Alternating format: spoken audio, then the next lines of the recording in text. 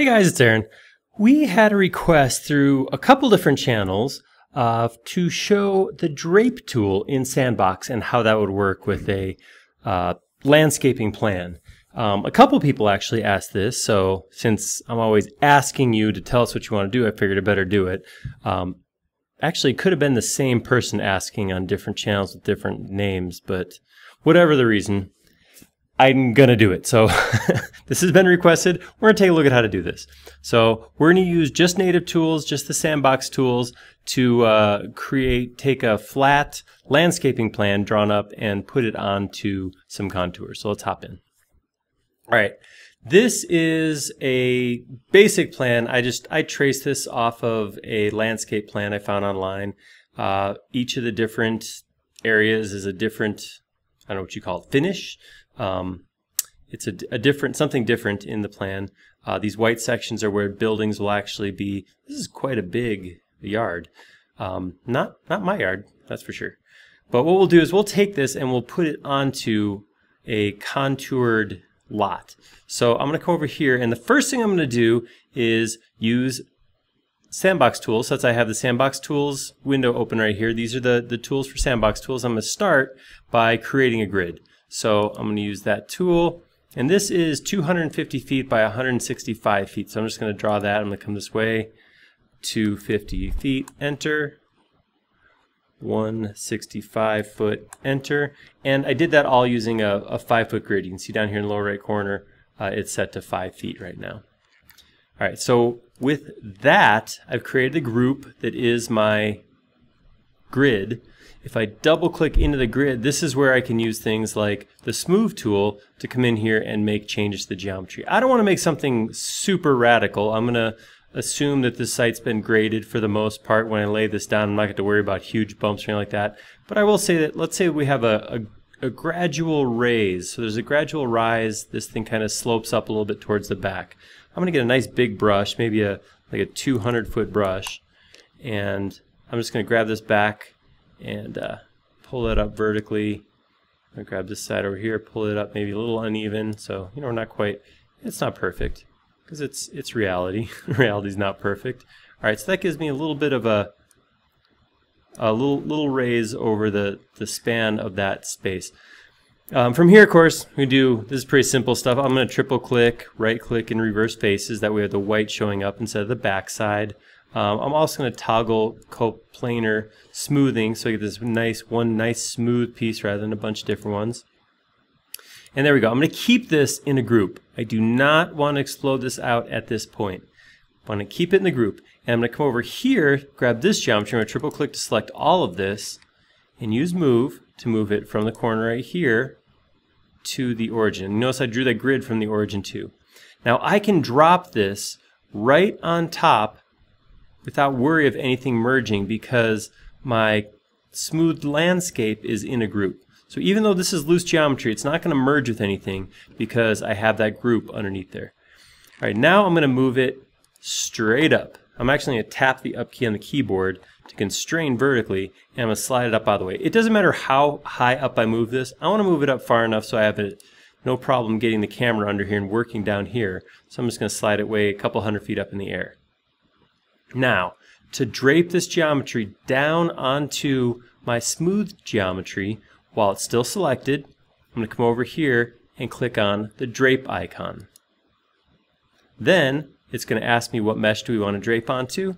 I'm just going to cover, come over and click on this mesh and then that's going to take it and just project my line straight down and show me where everything intersects. And that is actually breaking it. So if I double click to enter this group, I can pick these different sections and see there actually are uh, separate surfaces. So that was pretty easy. I mean, that, that could be, that's a quick win, not a skill builder. Let's take that a little bit further.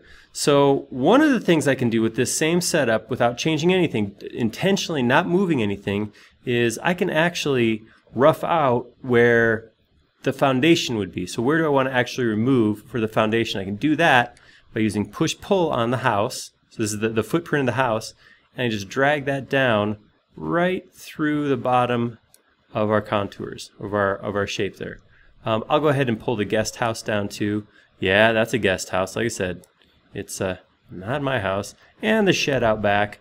I don't even have a shed, much less a guest house, so um, the shed probably doesn't need that big of a foundation. Maybe that'll be up like that. All right, so once those are pulled down, intersected, I can do a sweep select, right to left. That gives me the dotted line.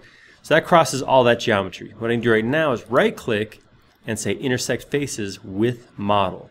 That's going to take all that push-pull geometry and break it where it hits our contours. So I'm going to grab this right now, just grab this section on the middle and delete. When I do that, you can see that foundation stayed underneath there. If I double click into this group, I can actually select, delete, delete, and delete those shapes. And this may be what I'm shooting for. This might be actually something that's helpful in my, uh, my design process. And actually see that's the, uh, you know, the foundation is probably be a little bit different than that, but it gives me a good visualization of how this structure will break uh, into the landscape. Now, if I want to go a little further than that, I want to say, well, yeah, the, the holes are nice, and maybe maybe I could use this to calculate, you know, dirt removal, that kind of thing. But what I'd rather have is a visualization of where this house sticks up out of the ground. What I can do is go to push-pull again. I'm going to hit Option to make a copy of that surface and pull that up, and I'll just pull it like, know, like 20 feet above the ground. And I'll just do the same thing here. Option, pull that up to the same height, and I'll come over here and option, I'll pull that up. not quite as big. It's a shed. So that gives me real quick and easy a house mass that I can visualize along with my landscaping work. Um, I did, since I used option, it left the bottom underneath there. If I wanted to, I could come through right now and, you know, just select and delete that section below. That that would be no big deal, pretty easy to do. I like it, I'm gonna leave it. Um, that way I can, you know, it's there if I ever want it. I'd use the same process to grab something like this uh, patio. I think there's actually a pool on there in the real uh, drawing. And I could pull this down so it's just lining up me with the uh, lowest point of the house right there. What I could do there is, again, same thing, select, intersect faces with model, delete these pieces, come in here and delete this, and I can see, okay, if I wanted this piece right here to be flat, that's what I'd have to do. I'd have to dig my yard down to, what? how far down is this? This looks pretty severe. Four and a half feet I'd have to drop down. I do now have the option though to click right here, option click here, and bring that up to that low point, and I could see, right, that's what I'd have to do with this, this concrete patio to make it level from the back of the house coming out into the existing yard. So just some different options on how you could use that SketchUp geometry and that model to visualize how I want to put those flat surfaces in to this contoured shape. And of course from here if I wanted to, it would be real easy to grab my paintbrush. Um, we'll come in here first. And grab my paintbrush, sample these colors, and then just drop them where they go around the model. And so on and so on and such and such or whatever. But that gives you an idea of the kind of thing you can do with the sandbox tools and just a couple of push pulls. So hopefully there's a tip or two in there that you gained. Hopefully you learned something new. Um, that's kind of why we make these, kind of accidentally teach you a little bit of something, let it, let it leak in there, even if it's a, a tool you're familiar with. Um, if you did like it, give us a like down below and uh, subscribe. That way you'll be notified the next time a video like this comes out. Most importantly though, leave a comment for us. Like I said, this video is a direct result of somebody asking for something like this on one of our channels. We like making these videos, but we like making them a lot more when they're showing something you want to see. Thank you.